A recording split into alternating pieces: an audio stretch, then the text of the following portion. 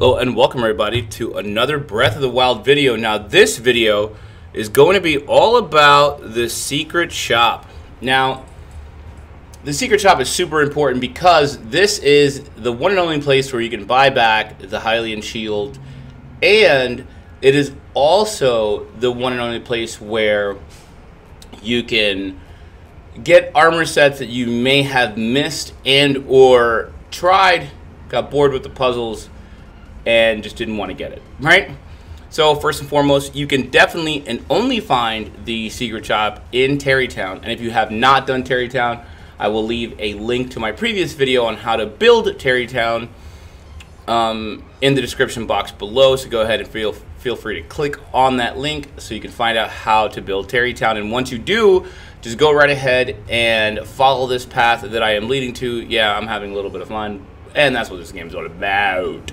So, all you have to do is once you obtain and reach the secret shop, all you have to do is go right ahead and talk to the guy, and boom. Let's say you've broken your Hylian shield, then you can buy it back for X amount of rupees. Or you can go ahead and, you know, let's say you, like me, I went ahead and stumbled upon one of the shrines that had the rubber set, and, you know, I totally wanted to uh, buy the set because even though I didn't get all three pieces, I just had to go to the secret shop, and there it was.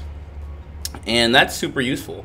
Just in case you don't want to go through the heartache of getting like a chest because the puzzle is just too annoying. All you want to do is get the spirit orb, and you know you you can always buy the armor set here because you'll have it available. And the more you uh, progress in the game, the more stuff you'll have. I'm actually, I didn't even go, I didn't do anything in the story mode except, you know, the whole Hateno village, you know, upgrade the runes thing, which is like the literally the second thing in the story mode that you can, you can do.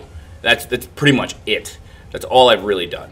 And um, but once you unlock more, more stuff will be available. Now, if this video was helpful in any way, shape, or form, please go ahead and leave a thumbs up. It really does help me out. If you haven't done already, go ahead and hit the subscribe button for future Breath of the Wild videos coming up. And as always, take care. Happy exploring. Peace out, you guys.